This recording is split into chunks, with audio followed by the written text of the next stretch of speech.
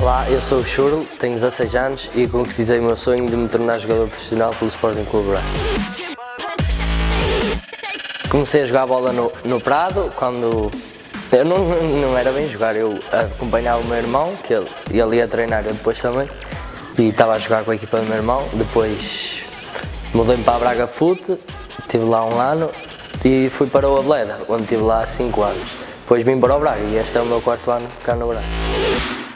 Churro foi alcunha, como isso era aqui no Braga, me deu por. Já tinha o Edu, que é o ponta de lança, e então ele disse que eu era parecido com o Churro e pronto, e ficou até agora.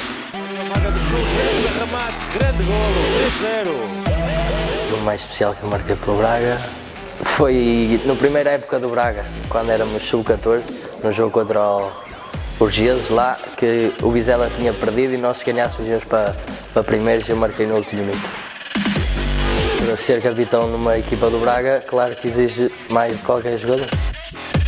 Antes do Mr. Bender, um treinador que marcou especial também foi no, no Bleda, o Mr. Nuno Andrade, que ainda no, quando assinei o contrato mandou mensagem que era um orgulho e eu disse-lhe mesmo isso, que ele tinha sido dos treinadores que me tinha marcado mais.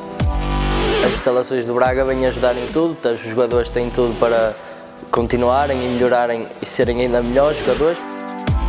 Penso que é o sonho de qualquer um jogador que está cá é chegar à equipa principal. Agora nestes últimos dias parece que toda a gente olha para mim de outra forma. Lá, é claro, é um orgulho. Ainda por cima lá tem muitos adeptos do Sporting Clube Braga e é um orgulho. O meu sonho como jogador é chegar à equipa principal do, do Braga.